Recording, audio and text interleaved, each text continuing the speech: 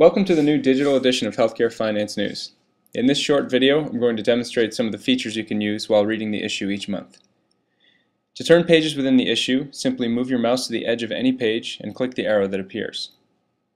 You can select a two-page or a one-page display by clicking this button in the top menu. To zoom in on any page, simply click on the page and when your cursor appears as a magnifying glass, you can zoom in or out. Click and hold your mouse to drag and move the page around. You can also adjust the zoom levels in the top menu.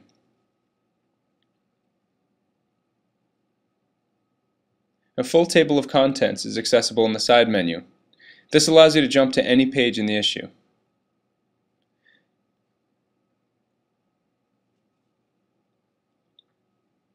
You can also search the issue for key terms like reimbursement to see where they appear.